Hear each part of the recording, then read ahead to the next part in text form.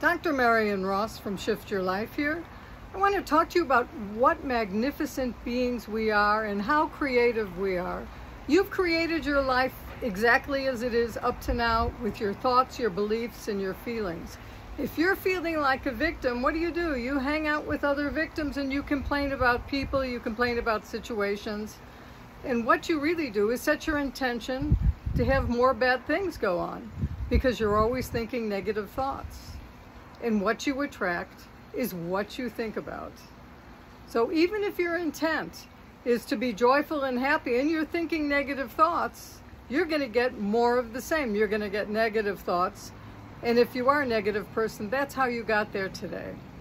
So what I'm suggesting in your magnificence is to know that you can create in a positive way as well. So we talked about cancel, cancel when you have negative thoughts. But what you need to do is say, Great Spirit, Universe, God, whomever you talk to, this is my strong intention. This is what I want. You say what you want. I want more patience.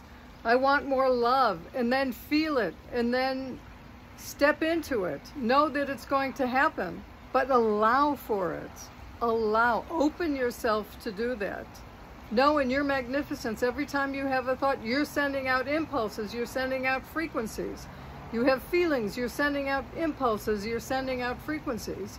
You want them matched by the universe. But do it in the present moment. And then you can create your future. Believe me, it works. Give it a try. And for more tips and tools, go to shiftyourlife.com. Thank you.